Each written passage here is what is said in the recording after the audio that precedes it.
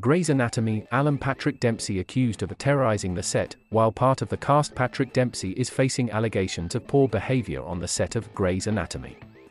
The 55-year-old actor is perhaps best known for appearing in ABC's long-running medical drama created by famed writer Shonda Rhimes for the show's first 11 seasons as Dr. Derek Shepherd, also known as McDreamy.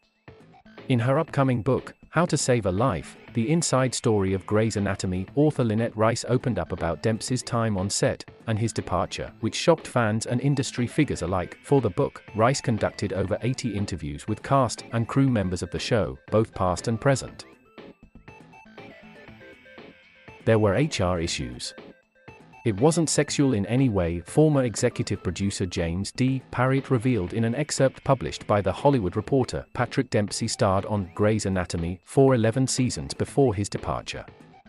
He's been accused of terrorizing the set later in his tenure. Parriott produced the first two seasons of the hit show before departing. He returned in season 11 to oversee Dempsey's exit. He was sort of terrorizing the set, the exec recalled. Some cast members had all sorts of PTSD with him.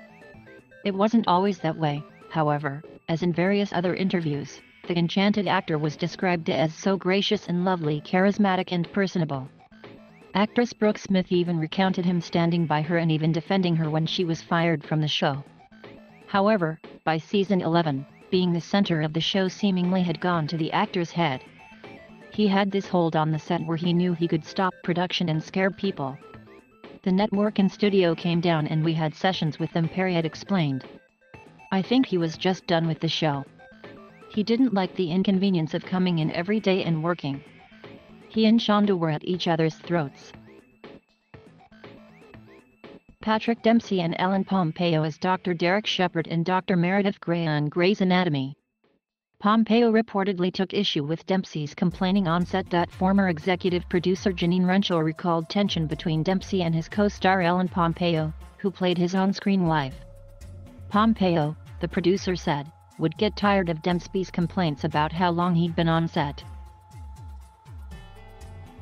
Renshaw noted, however, that upon being reminded that others had been on set longer, the actor would calm down. Another longtime crew member admitted that Dempsey had a shtick but explained that he was miserable and had no one to talk to once several rogue actresses went to Rhimes with complaints about his behavior. Dempsey also was interviewed for the book and said that the lucrative paydays were a huge draw for him to stay, but that he was frustrated with the demanding schedule that kept him from his family. Renshaw recalled the final straw which was when Rhimes witnessed herself. Patrick Dempsey returned to Grey's Anatomy for a surprise appearance in season 18. Shonda had to say to the network, if he doesn't go, I go, she said. Nobody wanted him to leave because he was the show. Him and Ellen. Patrick is a sweetheart. It messes you up, this business. His exit was complicated, and the writers crafted three possible storylines to accommodate his absence, ultimately choosing to kill his character off. It was ultimately decided that just bringing him back was going to be too hard on the other actors, Parriott said. The studio just said it was going to be more trouble than it was worth and decided to move on. Thank you for watching. Please subscribe